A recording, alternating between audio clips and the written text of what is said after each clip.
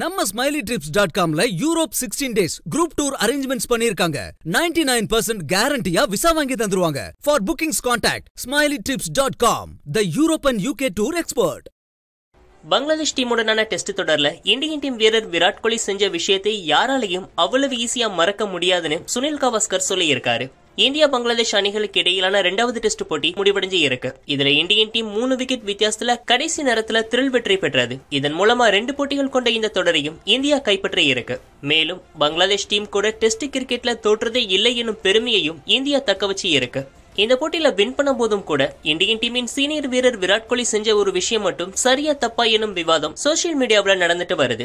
இரண்டாவது டெஸ்ட் போட்டியின் போது பங்களாதேஷ் பவுலரான தைஜுல் இஸ்லாம் விராட் கோலியை சீண்ட பதிலுக்கு அவர் ஆக்ரோஷமான வார்த்தைகளை விட்டதுனால போட்டியில பரபரப்பு ஏற்பட்டது. இந்த போட்டியில விராட் கோலி இருபத்தி இரண்டு பால சந்திச்சு வெறும் ஒரு ரன் மட்டுமே எடுத்திருந்த போது மெஹதி ஹசன் பவுலிங்ல துர்திருஷ்டவசமா விக்கெட்டை பறி கொடுத்தாரு. விராட் கோலி அவுட் ஆன உடனே பங்களாதேஷ் பவுலரான தைஜுல் இஸ்லாம் அவர் பத்தி ஏதோ கிண்டல் அடிக்கும் விதமா பேசினாரு. இதை கேட்டு கோபமான விராட் கோலி தைஜுல் இஸ்லாம் கிட்ட பக்கத்துல வந்து எதை சொன்னாலும் முகத்துக்கு நேரா சொல்லு பார்க்கலான்னு கடுமையான வார்த்தைகளை சொல்லி சண்டை போட்டாரு. இதனால போட்டியிலையும் பரபரப்பு ஏற்பட்டது. இந்த நிலையில இத பத்தி கவாஸ்கரும் பேசியிருக்காரு. அதுல ஃபர்ஸ்ட் டெஸ்ட் போட்டியின் போது லிட்டன் தாஸ் தன்னுடைய காதல கை வச்சு செய்கை காட்டியதனால பிரச்சனை ஏற்பட்டது. அதன் பின்னால் அவர் அவுட் ஆன உடனே விராட் கோலி மற்றும் சிராஜ் ரெண்டு பேரும் அதை திருப்பி கொடுத்தாங்க.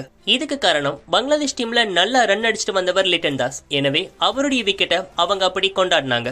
அதே போல தானே பங்களாதேஷ் வீரர்களுக்கும் இருக்கும். விராட் கோலி உலகத்தோட சிறந்த பேட்ஸ்மேன் அவருடைய விக்கெட்டை எடுத்தாலும் ஃபர்ஸ்ட் டெஸ்ட் போட்டியில நடைபெற்ற சம்பவத்துக்காகவும் அவங்க அப்படி செஞ்சாங்க. அன்னைக்கு நடைபெற்றதை அவ்வளவு ஈஸியா மறக்க மாட்டாங்க. அதனால தான் இன்னைக்கு அப்படி பண்ணியிருக்காங்க. விராட் கோலியும் அவசரப்பட்டிருக்க கூடாதுன்னு கவாஸ்கர் சொல்லி இருக்காரு